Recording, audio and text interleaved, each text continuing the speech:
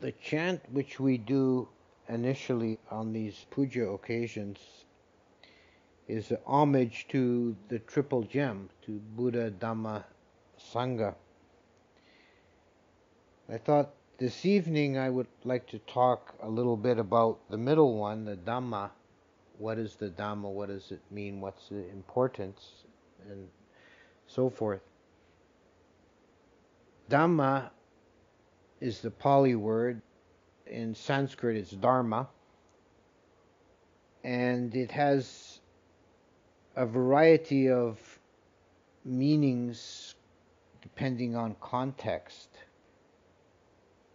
In the most general, universal sense, the Dhamma is the way things are, it's natural law. In the Pali, there's a derivative of Dhamma, Dhammata, which means according to nature, naturally. You know? It said that the Dhamma exists whether a Buddha proclaims it or not. It's just that it's not understood or known. In a more specific sense, the Dhamma refers to the Dhamma of the Buddha, sometimes in the compound Buddha Dhamma, which is the teachings of the Buddha or his explanation, his declaration of the Dhamma in the more universal sense. Nothing that the Buddha taught was his own invention. It is a declaration or an explanation of an existing Dhamma. Of course, as an individual human being located in a certain time and place, culturally, historically specific, this flavors his presentation of the Dhamma. So we have the Dhamma of the Buddha reflects the uh, the language and the cultural norms of 6th century BC India. But the truths that he proclaims are universal. There is also another very specific use of the word Dhamma, which is found in primarily in the Abhidhamma texts, Dhamma as an object. An object of consciousness is called a Dhamma. So any phenomena in the universe which is capable of being an object of consciousness is a Dhamma. In English texts, often the two uses of Dhamma are distinguished by capital D for Dhamma as teaching or Dhamma as universal law, and small d for Dhamma as an object of consciousness. But this is really a modern affectation. The Pali language, in its original form, is purely oral and has no place for capitals or uppercase. The alphabets of Asia, uh, Sinhalese, Siamese, Burmese, in which Pali is often written, they also don't use capitals. So there isn't really a absolute distinction between the two uses of the word Dhamma. A Dhamma is a truth. Each Dhamma which arises to consciousness is a momentary truth known to the conscious mind. As we noted, uh, Dhamma precedes the Buddha, and it also, in another sense, has precedence over Buddha. Shortly after his awakening, and his encounter with Brahma Sahampati, the Buddha was reflecting that, and this is quite an interesting short sutta in the Samyutta Nikaya.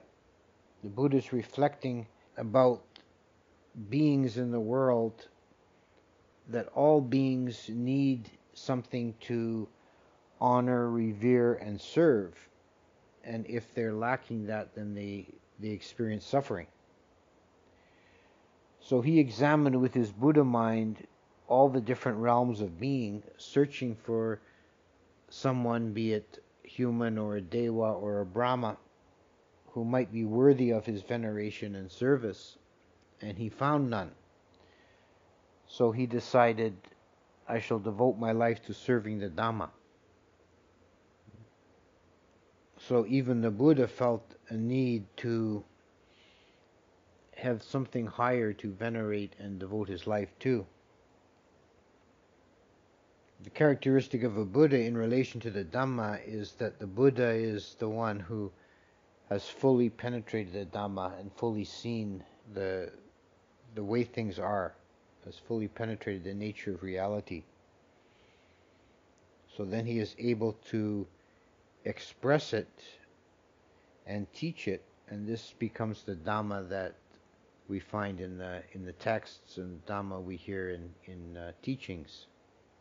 Is an exposition of the reality of things as they are. In the chant, we list as objects of contemplation several attributes of the Dhamma. Sanditthiko, this means that the Dhamma is immediately apparent. The root in here is dit, ditti, for a view, an object of eye consciousness taken metaphorically to represent a view, and understanding and sang is means with. It's a prefix.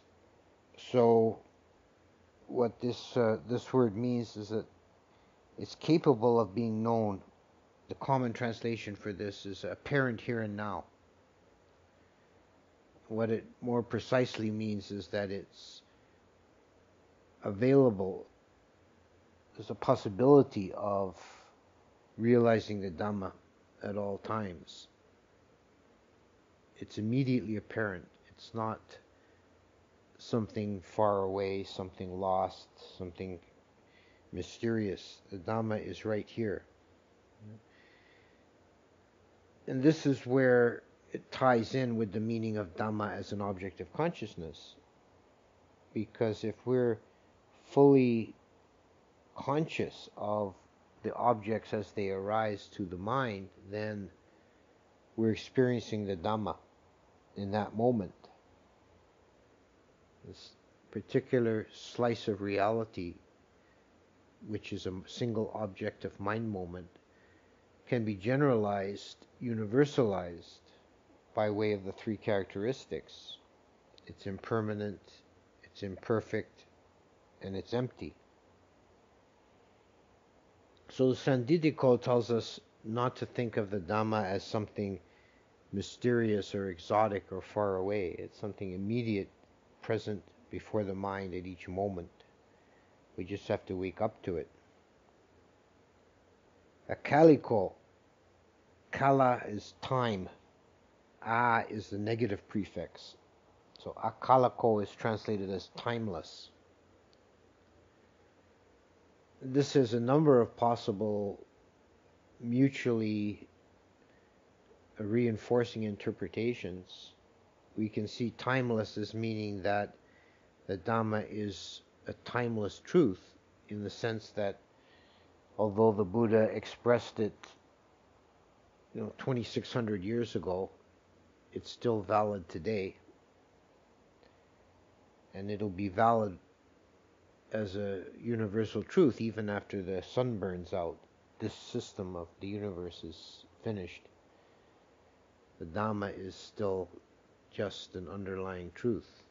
It's a universal law.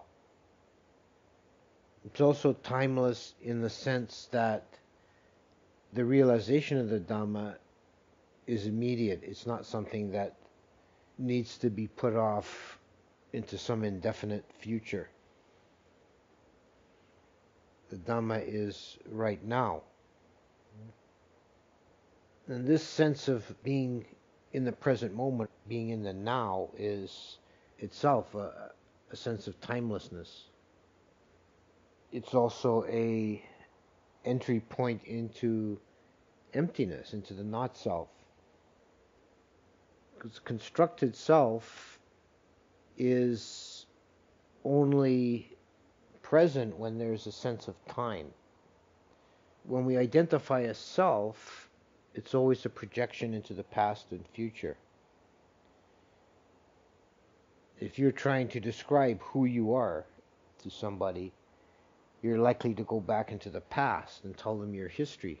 Ah, I was born in such and such a place in such and such a year, and I went to school there, and I had a job here. And, right, so you identify yourself by your history. It's a past, past reference. Or you can identify a self projected into the future, which is when we dwell on our plans, our hopes, our fears and anxieties. We're projecting into the future. And there's a sense of self. But in the present moment, immediately there's just awareness and an object, a Dhamma. There's no sense of self in the, in the purely in the present moment. And the highest realization of the unconditioned is being beyond time and space altogether. So it's also timeless in that sense, ekaliko. Ehipassiko. This means come and see. It's a literal translation, come and see. Ehi is an imperative noun to come. And passiko is derived from the verb to see this expresses the Buddha's confidence in the truth of his teaching that he says, Come and examine it for yourself. Come and check it out. This is a teaching that is beneficial and that that works. And if you come and examine it, you will confirm that. Ehipassiko a small digression, but note that this verb ehi, it also occurs in the Vinaya stories, the foundation of the Sangha. In the early days, the first few years, the Buddha practiced what's called the ehi ordination, ehi bhikkhu ordination. When someone was to ordain as a bhikkhu, the only ceremony required was that the Buddha would say, Ehi bhikkhu, come here bhikkhu and the person would be ordained. And it said in the commentary that he would miraculously lose all his hair and, and get robes in a bowl. Physically transformed. Now this uh, in the uh, as an attribute of the dhamma Dhammas, ehipassiko is come and see. Opanayiko. This means that the Dhamma is leading onwards it's progressive, it's going somewhere. It's also possible to interpret this as leading inwards, which means you going into the depth of your own being to realize the. But essentially, the two meanings are, are the same. And I think leading onwards is actually linguistically is closer to the to the meaning. This means that the Dhamma, when it's practiced, it has results. It does things. It changes the uh, the practitioner. It purifies the being. It opens the mind. It frees the being from defilement. This is discovering the Dhamma for oneself. And the last attribute is the longest one in Pali, Paccattam veditabbo vinnuhi, which means it's capable of being known by the wise. This is something the Buddha, from the very beginning, said that the, the teaching is for those with little dust in their eyes. There are those in the world with little dust in their eyes perishing for lack of the Dhamma. So there's a sense in the Theravada teaching, at least, that not all beings at least in their present lifetime, in their present form, are capable of realization. On the other hand, there's no sense of eternal damnation in Buddhism either, that there's always a possibility of progressive improvement and taking a better rebirth. But the realization of, of Dhamma is, first of all, most conducive to one in a human form. It's very difficult, it's impossible for an animal to realize the unconditioned, and it's very difficult for devas and brahmas. A human has the right proportion of pleasure and pain. There's enough suffering in the human life to realize there's something wrong. There's a the, the conditioned existence is lacking. This is a realization missed by the devas, whose existence is one of pure pleasure. So they don't realize until it's too late that uh, there, there's some, something needs doing. And on the other hand, there is for most humans, most of the time, there's enough ease and comfort that it is possible to practice. Whereas for a being in the ghost realm or the hell realm, there's constant misery. They have no leisure or space to practice.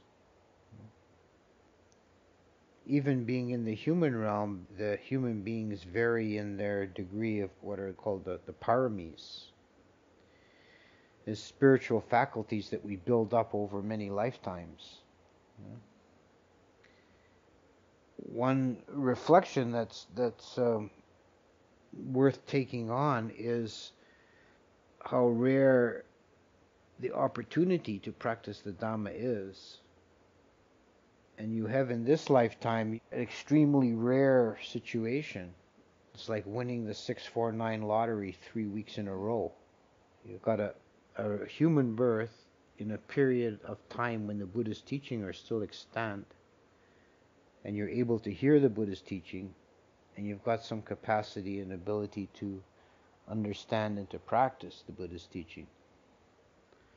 So all this together is the result of very fortunate past karma and accumulation of paramis over many lifetimes and it's like a wonderful window of opportunity.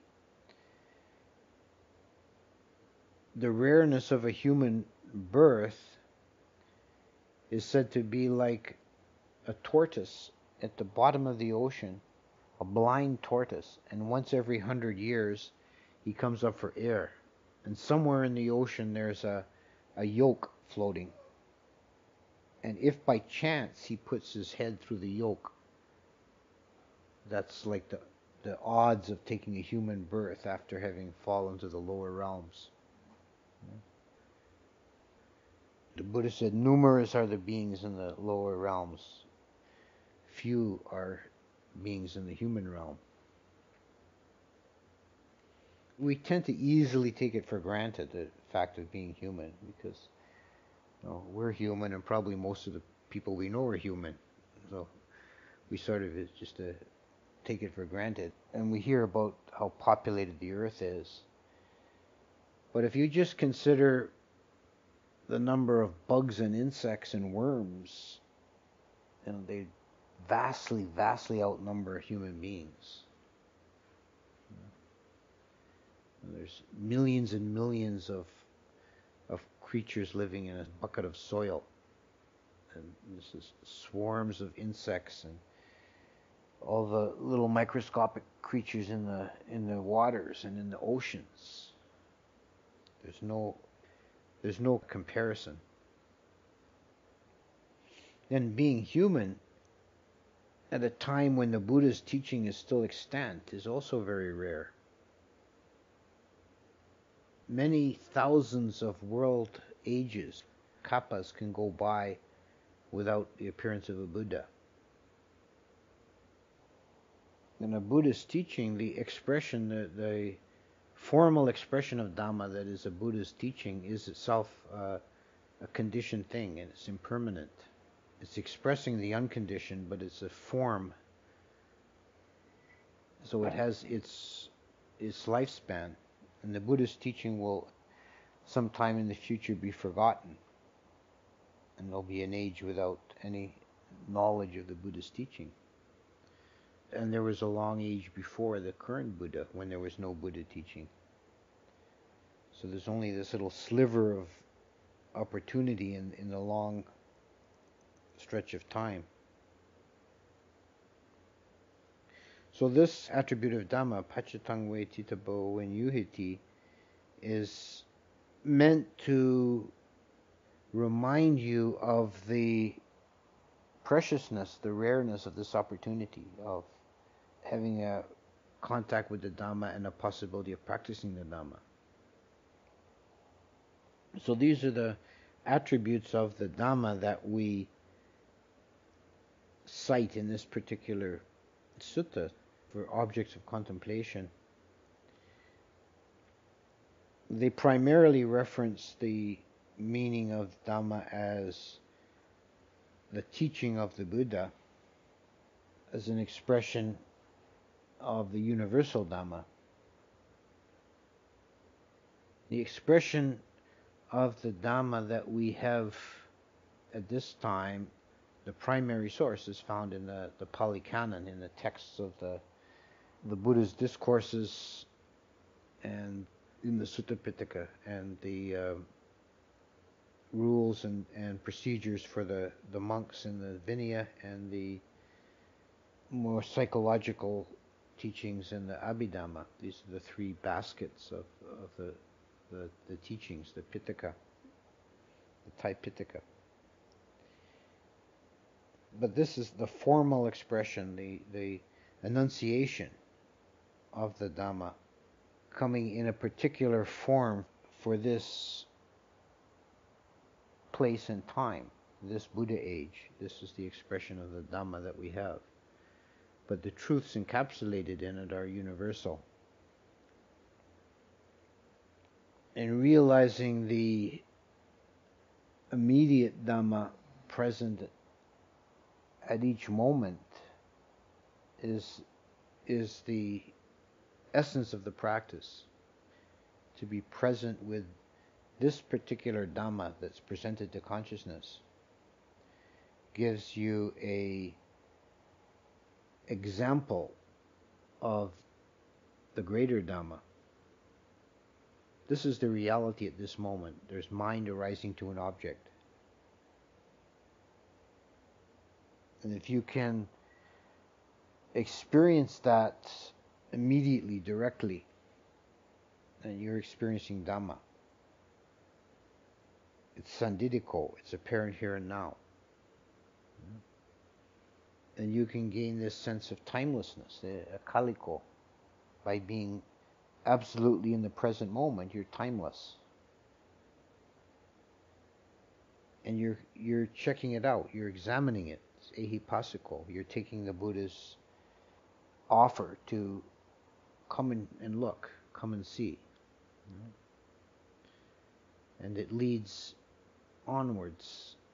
It carries you along. It's opanaiko.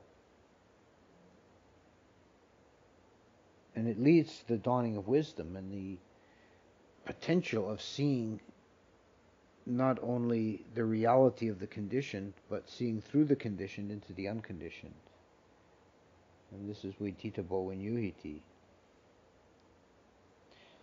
So this is a few words on the nature and meaning of Dhamma.